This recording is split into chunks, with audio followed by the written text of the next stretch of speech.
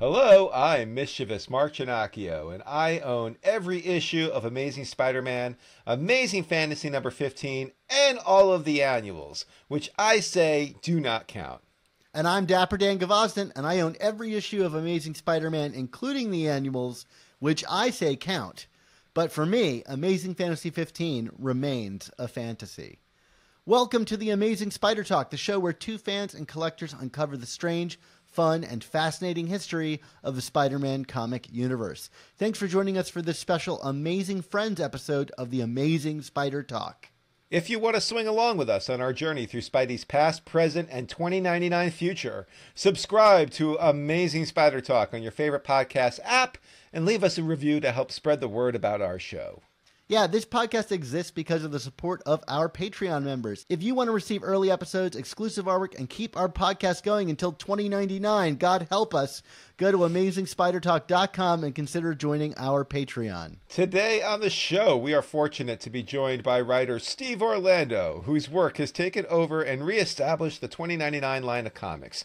First starting with Spider Man 2099 Exodus, and continuing through Spider Man 2099 Dark Genesis, and now, of course, Miguel O'Hara, Spider Man 2099. Steve has also written the celebrated titles of Marauders, Scarlet Witch, Scarlet Witch and Quicksilver, Astonishing Iceman, and even on Amazing Spider Man Curse of the Man Thing. Uh, not giant size man thing though, Dan. Uh, yeah, yeah, anyway. just the curse of the he, the curse of the man thing might be to have a giant size man thing, but we'll leave that for other scholars. Uh, man, Mark, I have been loving Orlando's work on the 2099 series. I, I read that Spider-Man 2099 Exodus, and his voice on this time era just just stood out immediately as a guy that like really launched into like sci-fi writing. Um, I, am a big fan of sci- fi fiction, uh, uh, sci-fi fiction. That's like saying ATM machine.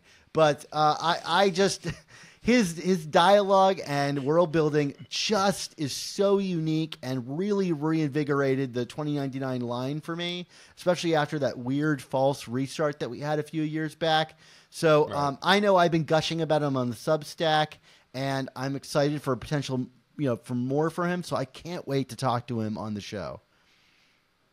Awesome. Well, we are definitely looking forward to it. So why don't we just jump right into it, Dan, and introduce Steve Orlando. Well, now let's meet one of our amazing spider friends. The kind of guy I other friends recommend. Find out about the things they created. You'll love them so much that you wish you dated. But you're just friends. They're an amazing friend. A friend, a friend, a friend. They're an amazing friend. All right, we are joined here by Steve Orlando. Steve, we, we, we introduced you in our in our intro as we should, so we're just going to get right into the questions here. Um, we, we, we, we always kind of kick off interviews with our creators by asking them what's what's their origin story as it relates to comics and their fandom with comics and you know since we are the amazing spider talk we always want to know at what point does spider-man intersect with that uh, origin story if at all well, it does. Uh, so, if you're talking about fandom and me and me reading comics, especially, um, I, you know, as I was telling you guys before we hopped onto the recording, I'm from Central New York originally. We didn't have. I'm from. I live. I grew up in Syracuse. Uh, we didn't have like a comic store on my side of town. You know, there was one in the city, but there there wasn't one on my side of town for the longest time. So actually the first comic I ever bought. God knows why I remember this, even in my advanced age. But it was West Coast Avengers 16, uh, A Tale of Two Kitties. Um, I tell people I bought that in 1987, but I can cheat and look when it actually came out. Uh, but the point is, is that it's early on um, for me. But it wasn't at a comic store. It was at a flea market because uh, my father was uh, he, he used to run uh, sports memorabilia shows. So I and I did not really care about sports. So when we went to flea markets and things like that, I would always be looking for non-sports cards or, of course, comic book type stuff, action figures too. So I picked that up. Now the internet tells me, whoa, that this was released actually in September of 1986. But this book was almost definitely bought by me in 1987. And by by me, I mean my parents because I was two years old. So, uh, so I read that, and and that was kind of what it was until the early 90s when we uh, finally got Well, actually, not even a comic book store. We got a Waldenbooks at my local at my local uh, enclosed mall, and uh, I started buying stuff off the spinner rack. So that's when Spider Man comes into play. I'm sure that I bought books with Spider Man in them in the '80s, but the first thing I remember, and actually the first comics I was buying close as possible to day and date, it was still off a spinner rack at a bookstore, not a comic store was uh, God Love Me uh, would have had to been like Clone Saga type stuff. Um, you know, I was big into I was big into all of the 2099 books, which is convenient for me working on them now. But that was like 1992, like Spider Man and the X Men were already the coolest. Shit. And like 2099 coming out, it was like, wow, this is like cool shit made specifically for me that I can get into the ground floor of. So but no, it was like the first things I remember buying, like off the racks specifically, were Ben Reilly. Actually, Ben Reilly was the Scarlet Spider. I, I don't, I don't know the issue number off the top of my head, but it's the issue where he, I believe it's Web of Spider-Man. Uh, he fights Venom and he separates Venom from Eddie using impact webbing, which he had created. So I was pretty much ground floor with Ben Reilly. Um, and I, and it's funny because my entry point into Marvel was the Clone Saga, and my entry point into DC, again, as a day and date reader, was Electric Blue Superman. So it is actually kind of shocking in some ways uh, how deep my love for, for the form is because both of those things are things I think were awesome, but at, let's at least say that they have a level of infamy uh, amongst amongst the reading populace. So um, Clone Saga was the the thing for me, and um, and I also, you know what, I remember now that I'm talking about it, before Electric Blue Superman, my father did bring home from a show one of the Death of Superman comics. So, Oh, yeah. and again, like, kind of similar eras. Like, you know, it's always funny to me when Marvel and DC sort of orbit each other, you know, Batman dying and kind of coming back in the same way that Captain America did, so on and so forth. This would be later. This would be in the, t- whenever he, whenever they died, Final Crisis, mid 2000s. But the point is, is, um, both times when I got into both companies were times when the main person was not the star. Like, and, and I was a young and foolish, right? So I was like, "Holy, Ben Reilly's always going to be Spider Man." You know. And similarly, I was like, "Which of these people are going to be the real Superman?" Now, I will tell you that uh, I had like an eight-year-old rationale for why it was definitely the Eradicator, um, and and that rationale was. And I and I, you know, folks who read my books now will know that my plotting has not advanced much past this. Uh, my rationale was uh, that to come back to life, Superman had to fly really close to the sun, and thus he would have needed those goggles, those that visor that the Eradicator has.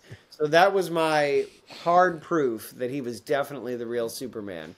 And you know, history proved me right. So that's great. now, did your dad put you through college uh, by selling that Death of Superman issue? I mean, clearly. No, it wasn't. It wasn't the issue. It was. Um, I think it was the one that came in like the the black poly bag where he. Because the thing is, like, in, when you open the issue, it's the one where Jonathan has a heart attack and he like a near death experience and he goes and he like sees Clark in the in the Kryptonian afterlife. So it wasn't yes. like the issue where he dies. It was just part of that saga. Um, and so so yeah, like it's funny that I that that I've become here I am.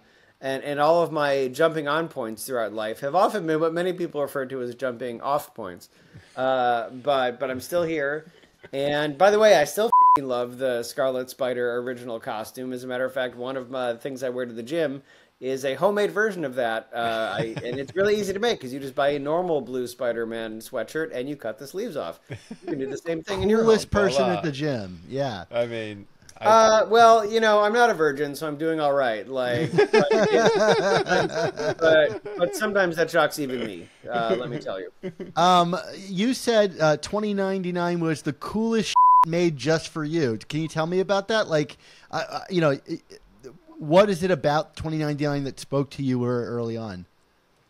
Well, I mean, I was seven years old in 1992, and so like, there's there's a there's an element of like KEWL cool that is very affecting to to, Oh, yeah. to young folks, you know. yeah. and and it helps that the books were way ahead of their time like for the most part If- when i go back and read uh, x-men 2099 um, you know the folks working on that ron lim and who who wrote it I, i'm having a moment um, it's not it's not I wish it's I not, knew. uh, Yeah, I know. I and I used to know, but I just forget things. Um, oh, it's John Francis Moore. That's right. Um, and I was thinking, I you know, I was thinking a three na- three three le- three word name, but I was thinking Bill Messner Loebs, but it's John Francis Moore.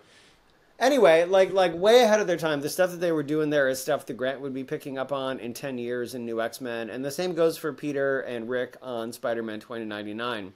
You know, as um, well, as we get closer to 2099 in the real world, I think the main Spider Man book, uh, on and off, resembles Spider Man 2099 more and more. That's not to say that they're the same character. They're absolutely not. They're very different.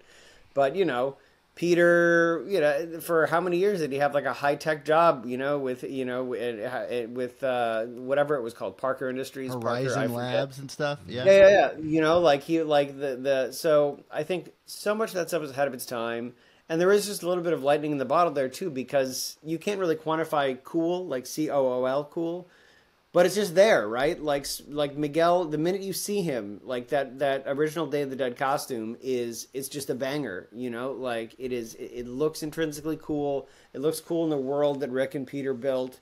Um, for so many, so many issues. It's one of the reasons when we did Exodus a couple years ago for the 30th anniversary, we're like, he's going back in the in the in the blue and red, definitely. Not that there's anything wrong with the Will Sliney costume. As a matter of fact, as you saw, we brought that back for Flipside, but we had to go back to the classic. Um, so I and I think that for me, like, so when I say for me, I just mean in some ways, I just mean that like it's rare, especially in the '90s and '80s. Now it's very easy to buy a number one of a character because every character has 30 of them, but back then, you know, that was relatively rare. You, I was reading Spider Man, but when I was reading like Web of Spider Man or whatever, it wasn't issue one. It was issue Who Gives a and Who Remembers. uh, but like I, this was like me. It felt auspicious. You know, I get to buy this number one. I get to be yeah. with this person day and day, yeah. and I think that that, especially when you're young, um, that's exciting. You know, it's uh, and I still, you know, like the reason I put Cassandra Nova, one of many reasons, in Marauders is because there's obviously a, many, many great X Men villains, but she was one where I was there for the first appearance. Like when I came back to X Men after years away, um, it was for Grant and Frank Quitely, and there she was in the first issue. So I think that you know those things sort of imprint on you, yeah. kind of like a baby Velociraptor, you know, and you just uh, you want to sure. follow those characters. So. Yeah.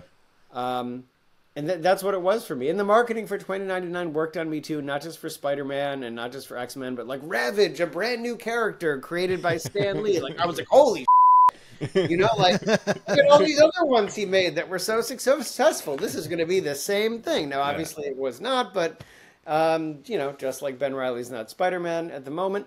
Uh, but but yeah, there's just there's a, there's an excitement to all that stuff, uh, and I and I was certainly right in the strike zone uh, for it. That's awesome. So so we're we're we're, we're gonna we're gonna jump ahead to the, your your professional career here because uh, I wanted to ask you about how. So obviously, when you when you were at DC, you launched um, Midnighter, and then you went on to work with other very popular characters like Batman, Justice League, Wonder Woman. Um, so, uh, can you talk a little bit about like the transitioning from DC to Marvel? What that change has been like for you? How's like working with those legacy characters versus the characters you've been working with with Marvel now? I mean, is there a difference in approach, different in style? Like, what's what's like your your overall impressions of the two companies and how you've kind of gone back and forth? Well, this the tone is different. Like like it's it, there there are people who say that there'll be like Marvel style writing and DC style writing, but I don't necessarily agree with that uh, to an extent because um like there can be a tonal difference and i think there is you know like like how many times do do you have assholes like me on a podcast and they say marvel's the world outside your window and dc is the world as it you know like dc is the world as we you know what a lot of creators say? Not the world outside your window thing. They say dc is the world as we wish it was and marvel's the world as it is. Uh, and and so I think that there's always a tonal difference there. Marvel characters tend to be slightly more grounded, um, and the perspective has always been a little more humanistic. I think that speaks to when the vast majority of the line was created, which was, of course, in the 60s versus the 30s. Uh, not all of them, obviously. Uh, thank you, Human Torch, for killing Hitler. Uh, but most of them. So there's a tonal and a lens and a perspective difference, but I think if you try to subscribe to an actual like practical delivery difference too much, like like if there's a Marvel way of writing something and a DC way of writing something, the thing that's getting lost there is your way of writing something. So um, for me, it's more you know the types of characters are different. Yes, like like you know when Justice League came back to prominence in 1997, it was all about Grant and Howard doing the Greek pantheon. And for better or worse, that's not the Avengers. Like that's just not the the for that's just not the template. Yeah. You know, but that's how it was. That's how it's kind of always been for Marvel. Outside of obviously people like Thor and Sentry, these are heroes um, that would save the day. But then you also might be able to see them getting a latte, right? Because they are like they're they are just like you with something more. So I think that's important to keep in mind. Of course, you know, sort of what the core. In the same way that when you work on a character, our job first beyond anything else is to figure out what is the core of that character. Kelly Sue DeConnick calls it the core wound. I'm not cool enough to say that, uh, but I do. but I do think you need to find out like what a character is about, and it's not even that there's a right answer. Uh, one right answer, though there may be some wrong answers. Um, but you need to decide for yourself, right? But I think secondary to that as well, when you're working in a shared universe, is finding out what the thesis and what the world itself is about. So those things might be different with Marvel and DC, but on a day-to-day level, like we're still here to offer what we bring to the table to these characters. So you think about that, you remember the sort of like sky-high pitch for the universe, um, but also like you got to deliver things that only you can deliver. Um, or before you know it, someone else will be delivering them. I don't know why I'm being uh, so coy with my phrasing today, but here we are. It's like a little enough. Dr. Seussian. It's like if Dr. Seuss like was just like a little bit white trash. That's kind of Uh, I, I am I am here for all of this right now. Um, Ke- Kelly Sue is cool and you're coy. That that's what we're taking away. Yeah. there we go. yeah, core wound versus coy wound. Mine is like it's go. a, it's a it's a thumbnail, but it really pisses you off, Uh, or rather a hangnail. A hangnail. Pardon me. um, can you talk to us about your involvement with the uh, Marvel Pride anthology and overall what, what it's meant to you to bring uh, LGBTQ plus representation to mainstream superhero comics? Um, I mean, I so so I, it's I'd be quite honest. You know, my- the first time I went to a comic con and started trying to get work was in 1997. I was 12 years old. Um, and if you asked me then that it would even be possible now, I probably would not have thought so.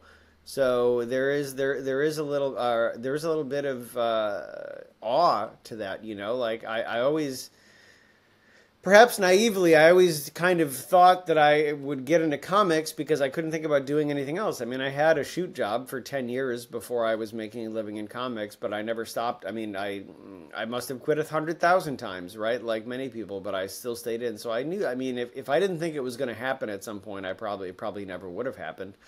But I didn't necessarily think I'd have the privilege of telling stories uh, about folks like myself by any number of vectors. Uh, I mean, there's plenty of stories about in comics. The Wolverine is made like a cottage industry, but uh, not necessarily anything else. So, um, it's a privilege, you know, like, and it's an honor and all those sort of trite things to say, but it's also true, you know, because instead of when I was younger, uh, having to sort of scrounge around for, for for for stories about that said that folks like me could be heroes, uh, folks like me could be champions. Um, uh, now you know there's there, there's readers that don't need to do that, you know, and and and that's a process. Um, I was a big fan of the Authority. Uh, of course, I was because a character like Midnighter, albeit me not being a mass murderer, uh, talked and acted more like me than the type of representation that we got at the time, which was largely limited to like shit like Will and Grace. And there's nothing wrong with that show, by the way, but it just was not for me. I didn't see myself in those characters.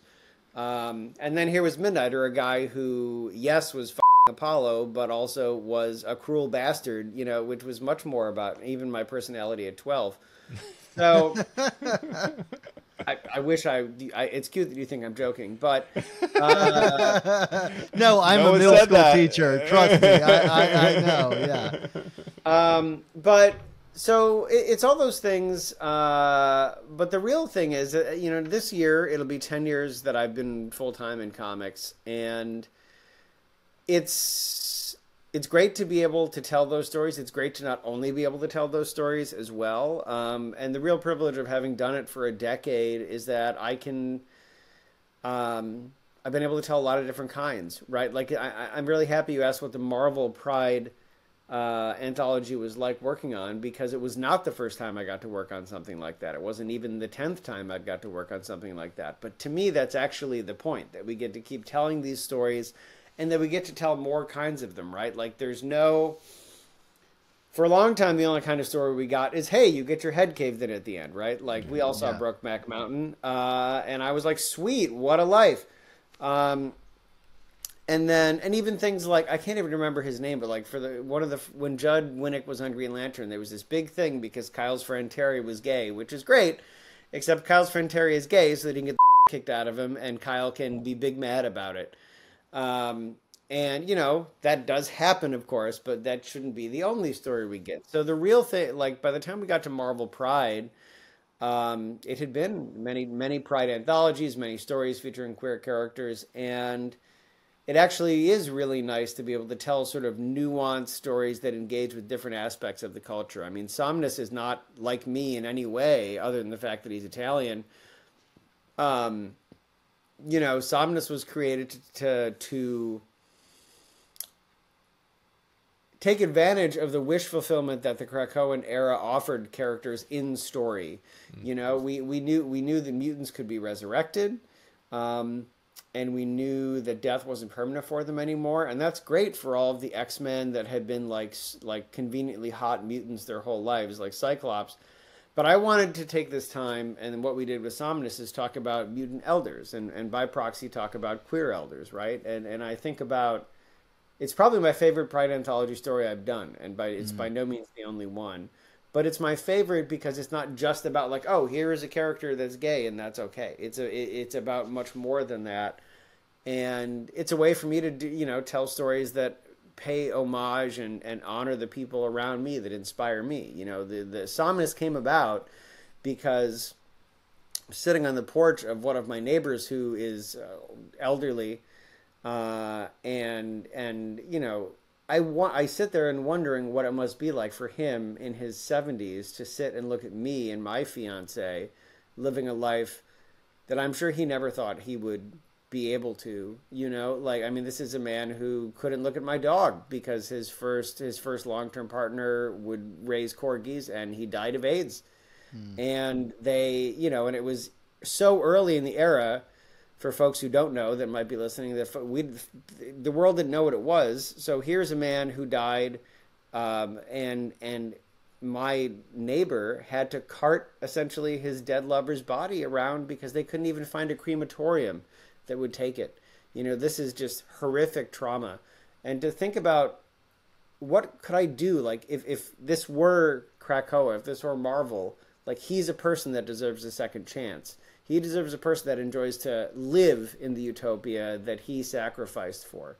Um, and so that's how Somnus came about. I can't do that for my neighbor, but in Krakoa, Akihiro can. Uh, and and he can do that for someone. So it, it's it's it's always an honor to be uh, invited to these anthologies. But I'm happy you asked about the Marvel one because it actually is my favorite one uh, that I've done because it allowed me to talk about a lot more than just oh this character is gay, isn't that great? Yeah. Or oh this is about straight washing, let's punch it in the face. You know, um, if if I if I were to go on a desert island with with only one of these stories, at least now it would be my Marvel Pride story. Did you uh, did you share that story with your neighbor? Uh, well, I did, but it's worth noting that it's shocking or not to folks who listen to this podcast and read comics what we think is normal and what is actually normal. So I did share it with him, but I got about, uh, I think I got to explaining that Krakoan mutants come out of eggs now, and he was Yeah. kind of like, I'm really like, I'm out. I still don't think that's normal, but I'm enjoying it. You know, uh, fair enough. So Mark gets the really like uh, like nice questions, and I'm I'm going to get into 2099 here with the most important question you've ever been asked, or anyone has been asked about the character: Is the suit blue or black? I think it's blue. Okay. with the note that many things in, that are in blue in comics due to tradition are actually black but I still think it's blue. If you Uh, had to have a character comment on his suit and say that's a very nice blank suit, what color would you fill that with? No, I, I, I do think it's blue. Um, and that's not to say I don't, and and and that's different than what I want. Like I probably actually want it to be black, uh, but I do think it's blue. Um, I think it's blue for the for the reason that you were probably nodding for. That for a long time, black got colored blue uh, because it just was hard to show black in a four color printing era. Um, but I also kind of like if it because if it is blue and red, then it is both. It you know it is a nod to Peter's costume. So I guess I do have to say I think it's blue actually. Okay, fair enough. Uh, That so was, uh, that was a tough question, Dan. That yeah, was very tough. hard hitting, Well, hard hitting. be honest, like like, but yeah, as I said, now do I what color do I think it should be? That's different.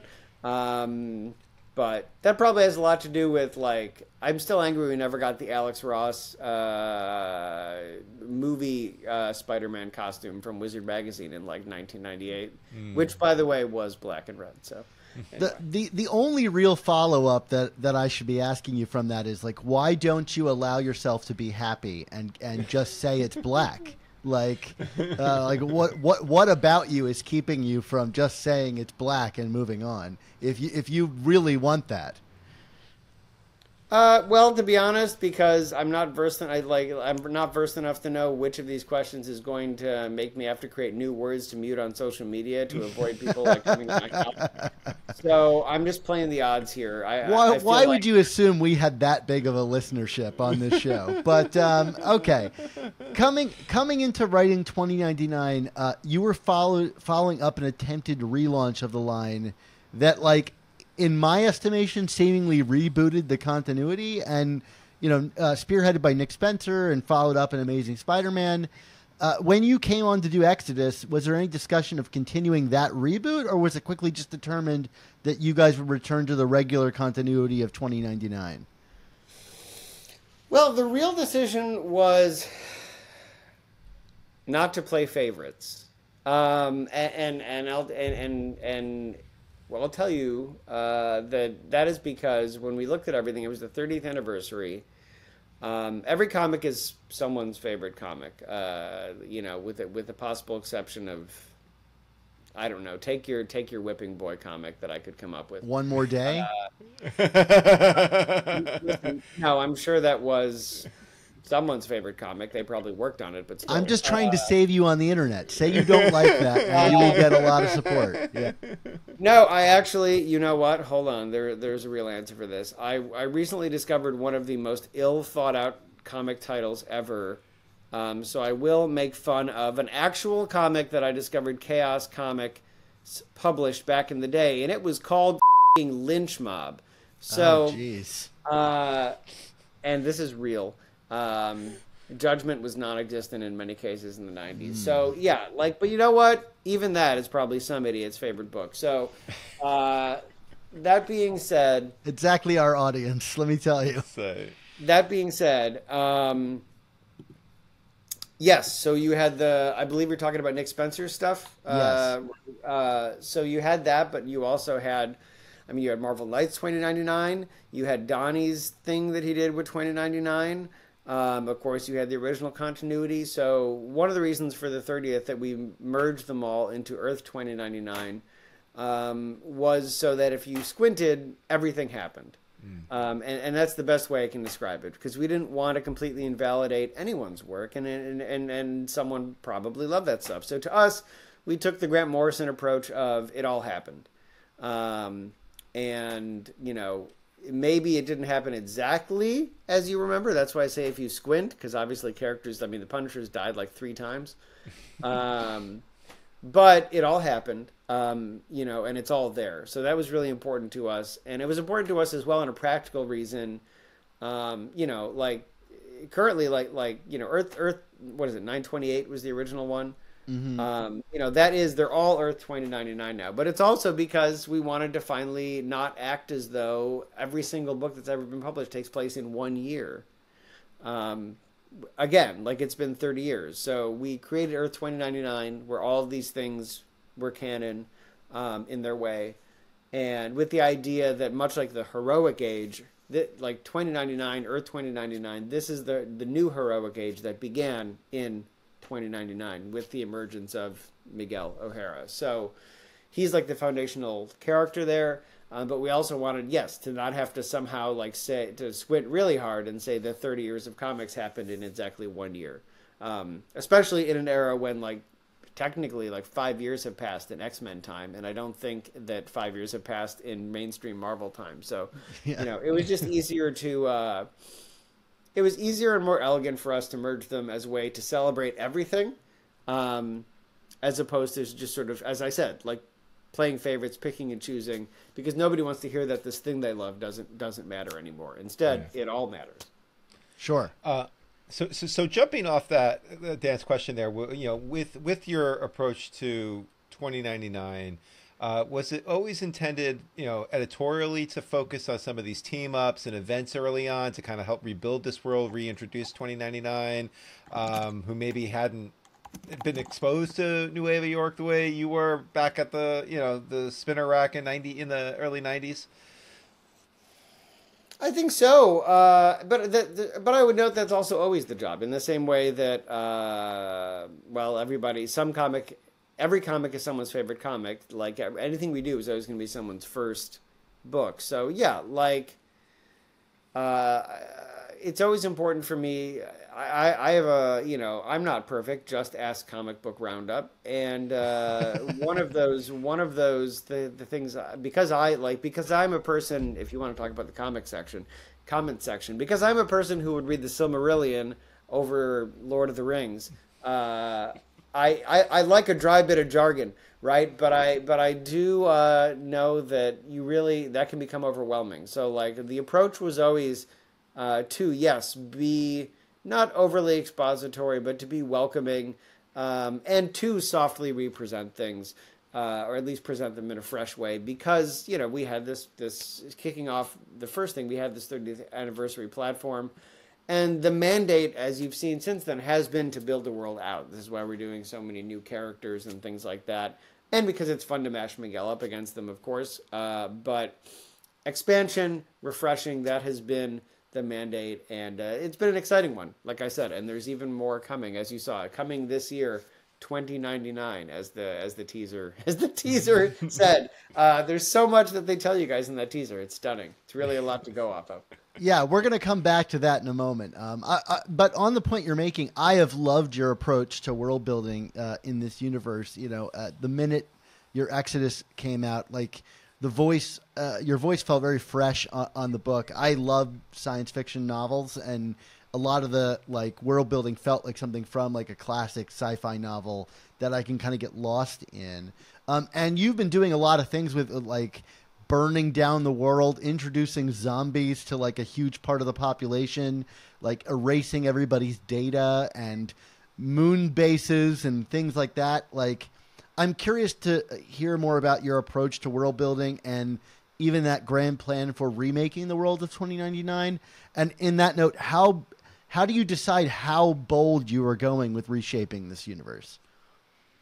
Well, okay. So first of all, thank you because if I've done one thing, it has been to try to expand the cyberpunk influences and literary influences, obviously through the punch in the face lens because I'm still me, of of 2099. I mean, the influence of things like Philip K. Dick and um, the uh, the guy that wrote Neuromancer, William Gibson. William Gibson. I was going to say Uh, he, it just it's- reads like that in especially in in uh, your first miniseries. Well, thank you. It's it's very well, and and in a way, that's because I would say it's very strong in the original source material. Like I was I was saying how a lot of it was ahead of its time. When you go back and like I didn't come up with the card system, for example. I didn't, and I didn't come up with the idea that black cards were above the law. That's been there since the '90s, but that is more prescient than ever, right? So we wanted to sort of elevate those influences and also like add more to be frank. I mean for for the three people that noticed uh they uh, in the in exodus um i think it's ghost rider but characters use the the street jargon from blade runner um actually I noticed. I was one of those three. um, you know, which I which I've been hesitant to say because I don't even know if that's legal. But you know what? Fair use. Let's go. So, um, so there's things like that. Um, we try to allude to. I mean, I'm a big fan of well, as as you had said, science fiction outside of comics as well as in comics. So I do want to try to expand what we're nodding to. Um, you know, like the Dracula issue uh, that just came out. Um, I was really happy with where we were able to put vampires uh, because a it's kind of a swerve. You know, you you know like you, it is. There's a little bit of protopia to 2099's dystopia in that you know people people they did find a good solution to vampires or at least a Yeah. workable solution. um, but also to be clear, like you know I'm me and I can't if I'm working at Marvel I can't not get a Planet of Vampires when that was an Atlas Comics book way way way way way back in the day. Um, so I really appreciate all that um, because I'm, you know, sometimes people have only read comics and that's great, but there's so much more out there, so we should all do it all. Um, that being said, you you said something really good at the end. How do you sort of know how bold to go? And um, it's an ongoing question. The thing that I sometimes have to realize um, or remind myself of because I was like, do we want to like, for example, the Masters of Evil having like a spaceship and shit like that. But then at the same time, I sort of sat back and I was like, wait, people people have spaceships in the normal six sixteen, like like tw- like twenty twenty three. How So- about Black Widow having a giant gun that shoots at the moon? that was that was Well- my favorite touch. it's a light transport gun. Uh, it's uh, it's a pun, my favorite thing. But that's kind of but that's kind of what I realized. Like, if anything, I think we have to. I think that we've kind of been girding our loins too much with like spec fiction and futuristic things set within the Marvel or DC universe. Because look at what is the look at what is the the baseline in an Avengers book. It's totally normal for people to have like nanotechnology. They have fucking teleporters. Why do we feel like it's weird? And by, by we, I mean me. Like it, like why I had to do it like a personal inventory of why I wasn't sure if a character could have a teleporter in 2099. But then I was like, again, like they've had that since the 80s uh, in in the present. So. If anything, I think the challenge is, you know, so much of science fiction and so much of the tropes of speculative fiction as well are based on our real world when actually to do it in the Marvel universe you have to adjust for the baseline of of that of that in story reality and I think if anything we could go even wilder because of how much that is uh, sort of normal in day-to-day life in Marvel's present. Does that make sense? Cuz uh, Totally. it's also kind of like the challenge is like, oh, well, how do you just like think about things that aren't possible? Um, it's an ongoing challenge because we don't live there. Uh, So extrapolating is an ongoing challenge. It's the same as like when I was on Martian Manhunter with Riley Rossmo. Our sort of mandate for everything we did in culture building was, well, are we approaching this because it's what's right for Mars, or are we approaching this because it's familiar to us as humans? But the catch twenty two, of course, is we are humans. Uh, so so how do you not think like one when you're when the equipment is is standard issue human? So um, I think it's similar with 2099. If anything, we need to go even bolder because we got to remember all the time what's normal for someone who works, you know, at a coffee shop in the Marvel universe and people teleporting in from Asgard or the future. That's all normal. So how much weirder would it really be? And what would the baseline be like 70 some odd years in the future? Um, I actually think that we need to push it even further, if I'm being honest. I always think about that one random issue of Amazing Spider-Man where Peter is working at Horizon Labs and invents like the solution to cryo freeze, and and it's like that would be universe changing level. And here's a guy can't get a job, and he invented like like he would save Walt Disney's head, you know, like uh, and and and we're just treating it like normal, and and then we go into the future and they have flying cars, and it's like. Is that much more advanced than being able to freeze organic matter? I I, I- I don't know. Well, that's a good point because that would be a good example of something we think is futuristic that is not because people have flying cars in Shield right now. Well, right now, you know. Right. Um, so yeah, that's the challenge. It's a perfect example because we are kind of like Jetsons, flying cars, a little dot on your head that we don't know what it does, and uh, but you know, we already have most of that stuff. Yeah. So it is. Um, yeah, I, I I don't think anything is too weird for 2099, but I do think you want to keep the feel to bring it back around. Like it can be the baseline can be even bolder and stranger because of what's normal in present day Marvel, but I don't think you ever want it to look it still has to look and feel like 2099. It's still got to be dusty, it's got to be smoky, it's got to be neon, these cavernous cities. Um, it you don't it can't become Coruscant. It can't become, you know, Earth the Earth of Star Trek or something like that. In in that regard, do you think like I think about Back to the Future all the time, and I know nobody ever wants that to be remade, but kind of what's interesting about Back to the Future is it's like a projection of how the 1980s sees the 1950s and sees the 2010s. So if you were to remake it now, it'd be it'd be kind of interesting to see how we, uh, fan, you know, fantasize about the future or or or see doom about the future and and have nostalgia about the past. Do you see 2099 as kind of like a some way trapped in amber 90s vision of what 2099 would look like instead of like what 2024's vision of what the future would look like?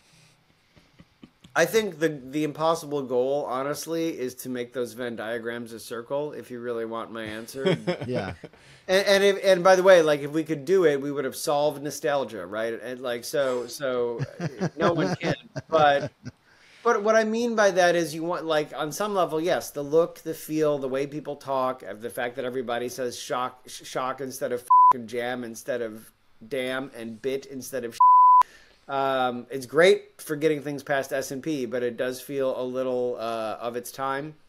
Uh, but at the same, by the same token, if something is in amber too long, the, the the audience will just dwindle because that audience only lasts as long as people who have nostalgia for it are are within the consumer base. So that's what I mean. You kind of want to press them together. You need it to feel like it does for the diehard people, and also to respect the the core creative of the line. But then also you got to sort of somehow somehow find a way to serve that to new people. Um, I think that's what we're always trying to do, and that is, I think, one of the reasons. Like, yes, we're keeping the the big influences of 2099, but we are expanding them. We are sort of build, building it out. We're doing books with different flavors. I hope, you know. Um, I I have yet to figure out how to do like my 2099 version of Event Horizon, but stay tuned. Um, you know, like in the ones in the in the stuff that they tease, which I can't really talk a lot about, but I'll see what you ask me. Like, I can speak obliquely about the influences of the books because I'm a weirdo. But you know, like in one of them, we got to do what is the 2099 version of like a Christopher Marlowe Faust story or like a Goethe Faust story. So like we are want to expand the types of things we tell with the lens. Um, but the lens is still the lens. Otherwise, you know, what separates 2099 from like the Wasteland universe, whatever, or like Right. like AU or whatever that's called, or so on and so forth. So, um, yeah, it's it, it it is it is the constant struggle we're all trying to do, but hopefully, as I've said, you know, we are doing it well with 2099. Um, I don't want, I mean, obviously, like like if I wrote and if we presented uh, the line exactly the same as as you would get it like under Peter and Rick, um, things would never grow. So I, you know, like my hope is that what we do honors all that stuff, and, and that goes for that goes for Peter and Rick, that goes for Ron and John Francis. Um, it goes for everyone who created these characters, but we also have to evolve it. So hopefully, it this work rhymes with that work. But if I was writing the exact same sort of world and voice for Miguel as Peter, well, that's what he's there for, right? So we have to offer new things. And by the way, we are getting Peter back as well. I've read all. I've read the entire miniseries in March uh, for Symbiote Spider-Man 2099. So we're getting, we're covering all bases. We're covering all flavors. Um, I, I there was something you, you alluded to, you, you know, the the Marlowe story, and I, I, I wanted to ask you kind of more broadly, you know, something that, that we have talked about and really appreciate in you, in, is how you have managed within these these minis and events to really effectively tell done in one stories uh, within within these arcs. Um, and I, I want you to talk about what I consider is the lost art of the single issue story because we, we we just don't get these anymore, and I, I love them. I you know I wish other media would do more of the single issue or the single episode stories. So, Sa- so what- same what with your y- Scarlet Witch too. Yeah. yeah. Yeah. So, so, what, I mean, is it? Do you consider this a lost art? And and why are why are you able to do it? Well, I can't. Well, I can't. Well, I can't say it's a lost art now because if I'm the only one that is able to do it, because then I just sound like a, a big old chode. I can't lie to you. Um, but I think that it is a more classic. You know, like we're talking about when I was picking up books in the 80s and 90s, and and the fact that every book is someone's first book. Um, the goal is, yeah, like like it's not that in, in the things you brought up, we did set out to do done in ones for a variety of reasons. But in a thing like Scarlet Witch, especially, it is like we wanted that. Yes, we kind of don't do it anymore, but that's because uh, it's any number of reasons. But we wanted to, we wanted to not just do something that's sort of classic, but for the reason it was successful when it was classic, as you said, like you get a full story, you know everything you need to know about the character. Hopefully, there's a tease for more, which we always try to do a little bit as well. You want more, but you don't uh, you don't want to sell something that's incomplete. And I think you know things go in phases. Um, when I was first buying comics, this was kind of the norm, 80s, early 90s, uh, especially if I was buying back issues from the 70s and things like that. Then we realized, holy decompression, late 90s, an issue of someone drinking a soda for $5. This is amazing. Um, and I think that has become kind of the expectation now. And the minute something becomes the expectation, you have to buck the expectation. So with Scarlet Witch, it was we were reestablishing Wanda in sort of a new page one uh, for her. We wanted it to be as welcoming as possible. Um, and with 2099, um, there have been a lot of different reasons that we've done one shots, uh, but I do think it's it's nice uh, to be able to give that complete package to people, especially as books become more expensive. Um, and as to why am I why do I do it? Like, is it a lost art? Um, it's a different muscle, and, and it's hard, you know. Like, because here's the thing: uh, when when people ask me about breaking in and ask me about writing, um, sometimes people get sort of down that the often your first work as a creator is only like eight pages or six pages, and and that's true. You know, the first things I did um, were eight page stories at Image, and then there were eight page stories at DC and Vertigo and things like that. But the point is, is that it's actually the reverse, and I tell people this on the breaking into comics panels and things like that. It's much harder to tell a complete story in six or eight pages than it is even in twenty. So by that token as well, if we're used to doing uh, two parters, three parters, four issue arcs, so on and so forth, you have to sort of buckle down and and be more utilitarian and efficient and creative with your space to do a, a full story in one issue. But at the same time, uh, and it is harder. Uh, you know, as I said, there's there's there's less there's less fat to trim. But the payoff, again, folks get complete stories. They feel welcomed in. And the thing I said else, uh, otherwise is not a joke. Like, these books are getting more expensive all the time. And I do really feel like folks deserve as much as possible in every single issue. Oh yeah, so appreciate that. Um, uh, so not only are you delivering the goods, but you've been working with some incredible artists. Like I, I have a piece from Justin Mason on my wall here uh, from before he was even working in uh, uh, uh professional comics, uh, and it's one of my favorites. So to see him team up with you to deliver one of the most horrifying visions of carnage I, have I've ever seen was really exciting. Um, and then your work with Devmalya uh, on um, on that first issue of the Miguel O'Hara with the zombies was just a visual stunner. Like that that might be my book of the year already uh, between both of your work. Um, what what's your ca- collaboration style like with artists? You've worked with so many on, on these various uh, mini series. You know, do you change it up with each of them? Do you have a particular way you like to work? And do you have any highlights from the time working with these names? Yeah, well, so the the thing is, is that you always do want to change it up, and you want, but you want to change it up according to the uh, what is going to be most exciting and best for your collaborator. So it's not like I sit down to a book and I'm like, "Fuck it, today I'm only writing an iambic pentameter," and you're like, "No, like you should, um, you should say that." You know, like now my scripts will be bulleted lists. No, like uh, no, that, but but what you do is when you start a new book, you you you talk to if you if you have time, which is some, sometimes not always a luxury, you have that conversation. You see what type of uh, script style, what type of things they want in a script. Some folks want very little, and they want to they want to put a lot in, like uh, of, from their own sort of inspiration. Some folks want the opposite because deadlines are tight and they want to know exactly what's got to be there. They want to hit it and they want to move on, um, and everything in between. So in a perfect world, like you are you are switching up not necessarily your script format, but what you put in it, how you deliver it, uh, based on a that that conversation. When that isn't always the case because things are on a tight deadline, um, yeah, you want to use. I try to use a style that is relatively open, and also make sure that the folks I'm working with know that like these books are conversations.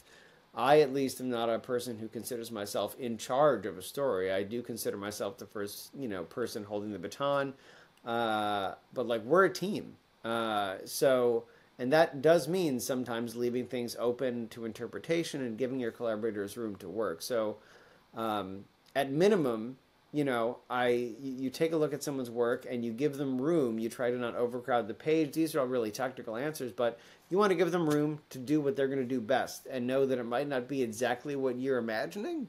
Um, but that to me is the risk and amazing reward of being in a collaborative medium. If I wanted complete control, I would be writing novels. Uh, so um, I try to yes, like treat my the people that I'm working with as true peers, as true teammates, and and give them room to do what they do best. Um, and you know, I think it shows through. As as to, you brought up Devmalya, it's probably one of my favorite books I've done in this series. Um, and as you had said, like it came back as a surprise. You know, I don't like I don't do a lot of layout description, for example, uh, because it's not that that isn't something that writers can do, and some do it. But to me, if I didn't trust like the person I'm working with Yeah. to do what they do best, what am I here? So that's a good example. Like I might write a five panel page, but unless something is vastly important, how that you know the size of those panels, how it comes out, I try to leave that up to folks. Stuff with Devmalya, I I could never predicted the way he was going to tell that story. He was perfect for that. It's one of my favorite, like I said, one of my favorites, along with the X Men issue from Exodus. Uh, that's probably the only one that's ahead of it. Um, Kim Jacinto, I, I was just like my face was melting when I saw those pages and those designs. So, and I would work with him again in a second. Um, but in both cases, yeah, in in all of them, like the artist is your first audience as a writer. So I think you want to give them as room to shine, and also, to be frank, you want to make sure that the book you're doing is exciting to them, um, and and that that comes through hopefully in the pages uh, from folks that I work with. Um, and you know, as a note, like if you can't have that conversation, sometimes what's exciting to an artist is going to surprise you. Like rest in peace, but Steve Dillon relatively famously really liked doing talking heads, you know, which is the converse of Yeah. uh, most artists, right? So um, those conversations can be fun, but listen, if you keep them excited, you give them room to work. I think that's what always makes the best work come back to you, and then you know go out to print to you folks. Got it. Um, so Marvel's been experimenting a lot with doing these like short-term minis that are then being considered part of longer runs. Like for example, you wrote what was the hundredth legacy issue of Spider-Man 2099 as part of your latest miniseries. Are you able to speak to this approach for the publishing line? And you know, does it change anything for you as a creator to work like within miniseries to miniseries versus a sustained run of, of a title? Yeah, I mean it's it's hard to comment on um, other than to say that I think that I'm trying I'm trying to find the the good answer here. I think it's reflective of the way, you know, eh, the way publishers see the buying audience, right? Like publishers do what well gets the best uh, return and reaction from their customers, which is retailers and, and readers. Uh, so I think they see that if we do like like if we do an ongoing Miguel book, that if if we do issue one to five, issue six to ten, issue and so on and so forth, um, the same story in those right now, for better or worse, is going to sell better if it's released as issue one to five, issue one to five, issue one to five, rather than three arcs. Um, and and and and that's again for for better or worse, regardless of where you stand on it currently that is a fact, and as long as that is going to be a fact, um, as long as that's what the the buying habits as of the mass ba- of the mass customer base are showing publishers, that's what's going to happen because they obviously want to make as much of a return as possible on these books so that we can keep making them. Um, and I think that's the best way to talk about that because it's not like you know we don't sit in the lab and be like, "What will torture people who are collecting?" um, What I- counts? for that note, I'm very. You will never hear me say anything else. Like I wish things were legacy numbered. At minimum, I wish you got both. I would love if things had an arc number, and and the legacy numbering. So and I, and I'm not shy about that. I would because my first book was a random issue, as I said at the top of this interview. Like to me, that's always been part of the joy. Um, but so so there's that. Um, and then as to well, as to us, it's just different. I I it's hard to develop subplots and and things when you only have set arcs. Um, but you know, it's not better or worse. It's just different. You know, like doing these things, doing series of of minis that are one to six issues long, four to six issues long. Pardon me. Um, the you know that's that's like appointment TV storytelling, right? Like when you when you see a six episode series or a thirteen episode prestige series or whatever, like character arcs are drawn in a certain way, events happen in a certain way, and that's what you're doing there. What you don't see are these long simmering uh, subplots like you get in in network shows. I, I hate that I'm using this metaphor, but it does work. Like net net network shows that run like 22 episodes per season. So it's not that it's better or worse, but it is different. How you deliver the story is different, and and there are things you that you struggle to do. If you're doing an event book, you know, like I would love to dig more into Miguel's relationship with Conchata. I would love to dig more into his his previous and supporting cast outside of Spider Woman, who we created. Um, but that's not the type of thing that happens when you are having to do an event book. Like and, and by which i mean like the big classic blow up like you got with exodus or dark genesis which is basically maximum carnage 2099 um, you know look at the look at the things we're homaging. People are in costume almost the entire time. So it changes the type of ways you deliver story. It changes the types of stories you tell. Um, i think we all sort of long for at least like you know a, a two year run on something so we can have longer longer simmering things. But um, you know when it happens it happens. And we've been very lucky uh, to do as much 2099 as we've we have done. And we've been really lucky on Scarlet Witch as well to by the time everything that we're doing is done at minimum I think we'll have the longest run actually. I think we'll have the lo- uh, longer than the 18 that we got in the 2018 series. Um, so uh, but uh, that being said, I would love, I wish, I would love to have the legacy numbering. I would love to have that all there because, uh, yeah, I mean that's what that's what books were like when I was younger. It's funny to think about. Um, you know, in our lifetime, we went from Crisis on Infinite Earths. How could we ever do a new number one ever? Yeah. Right. what will we do and now it's just like oh it's you know it's it's uh it's uh it's ambush bug you know Yeah. volume 17 and number three so anyway I, I uh, we could spend a whole podcast just unpacking why that is and what changes in the industry have led to to that being uh, uh, such as it is.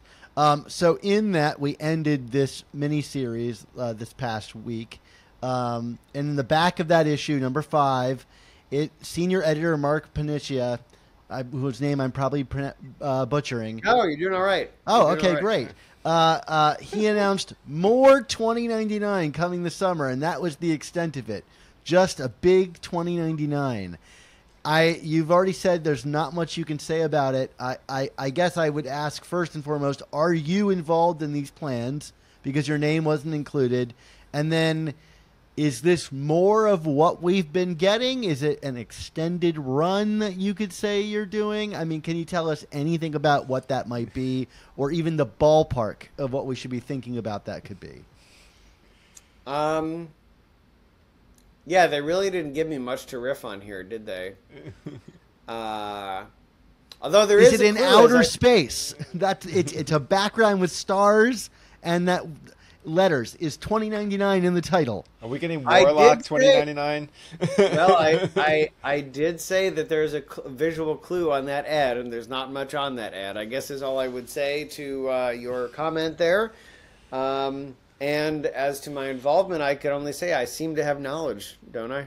Uh, Fascinating, fascinating. um, but I will say that like I don't want to skip over it, so so that's all I can really say. Although I, I I would happily answer random yes or no questions um, uh, that play fair, uh, but you know I don't want to skip over the fact that what Roger and Peter are doing in March is is also everybody should check it out and and is going to be like a great. I mean, as we push 2099 forward, it feels like a lost run from like the, the the kickoff era in the 90s. It's a great book, so folks should definitely check that out too. Before whatever's happening with the 2099 in a star field in 2024 arrives. that you All seem right. to know something about. And and I, I do want to note, like Disney has uh, the the rights to Star Wars, so like I'm really hoping for that Star Wars 2099 crossover book. That uh, seemed you've written both, so you're the perfect guy. Yeah, I mean, I've also written Power Rangers. Um, well, it's not it's, it's not a Star Wars crossover. I'll tell you that. That's the yes or no that I wanted the answer to, and There it we go. seems I've There got it. Yeah.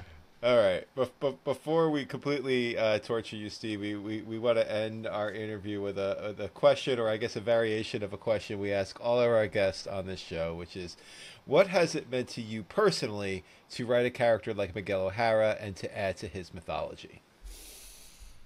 Uh, I mean, writing a character that was influential to you when you were younger is uh, always always a really great moment. Like I, I obviously like this is a job, so you and a part of our job is is is finding out why a character is amazing. You know, regardless of if you know them or not. When you when you step onto a book, research is part of the job. Um, but with things like i mean well things like things like midnighter you know like working on a character that again was just so foundational to me working on characters which are like miguel which are like cerebra like the launch characters from from 2099 um, it's surreal you know? Uh, and, and I, I tell the story in other podcasts but 2099 specifically for me is surreal because of what we've already talked about that i was an issue one day one reader for miguel and for the x-men um, but what I often say that I haven't yet is that I mean I've been trying to break into comics. I was trying for a long time, and in fact I was already trying to uh, in 2002, which was the 10th anniversary. And at that time, I was uh, you know Grant was on X Men with with Frank, and uh, Casey and Ian Churchill were on Uncanny, and I was just like, oh, I love X Men, but I can't pitch something like what could I possibly pitch in the present that was that, that wouldn't step on what these two amazing writers are doing? But you know what they're not doing is 2099. so I pitched. I have somewhere on like probably a hard disk. I have a uh, a, a 10th anniversary 2099 pitch for X Men that I that I sent into some very patient editors at Marvel. Uh, and so it's not just surreal because I'm working on Miguel, but I'm actually doing like I did the 30th anniversary of a thing that I like shot my shot at when I was, uh, however old I was in 2002, uh, a teenager, like like desperate, hoping that I would someday get in. So it's extra surreal, um, and with Miguel specifically, it's just been uh, it, it's been fun to explore the ways he's like Peter, and fun to the, explore the ways he isn't. He's a little meaner. He's a little more like me, uh, and and it's not just that. I mean, I I mean, I get to. You know, in the same way that we talked about Somnus, I get to put things into his character and speak to aspects of his culture that, yes, involve a lot of research, but also honor some of the people that are closest to me in my life. You know, that to whom Miguel is a huge hero and, and has been since they were kids. So, um, I mean, I'm proud to do it. I, I, I love the character, and you know, it, it'll continue to be a privilege for as long as they have me on board, which you know may or may not be in 2024, later in 2024. And there you have it. speculation aside, everybody, or speculate on. Uh, it, it- that seems to be an interesting topic for conversation. Anyway, um, Steve, thank you so much for joining us on the show. We're a big fan of all you're doing in 2099, and uh, and hope you will continue to do in 2099, uh, whether you choose to believe what you're saying or not. Uh, so thanks again for, for coming on the show. It's my pleasure. You got it. Well, that was incredibly fun, Dan. You know, it was funny. Before we, we got on the air here, you described uh, Steve to me as like I, he, he strikes me as a writer's writer, and and he was very much that and so much more. Uh, I think he hit the sweet the sweet spot for both of us in terms of his general style. So I, I he mean, referenced just- William Gibson, and that made him a winner in my book. I'm a huge you go. fan. So there you There go. you go. So I hope everyone enjoyed that as much as we did talking to him. But alas, it is that time. Time for all good things to come to an end. So we want to say thank you to you, the listeners and viewers, for tuning into this episode of the Amazing Spider Talk. And of course, an extra special thanks to Steve Orlando for coming to talk to us about all of his 2099 work and then some. Yeah, this podcast exists because of listener support on Patreon. For only $3.99 a month, you can help support our show's existence while getting early episodes, including these reviews the same week the comics release, exclusive artwork, and a ton of other bonuses. So, thank you to everyone who already supports us and the work that we do.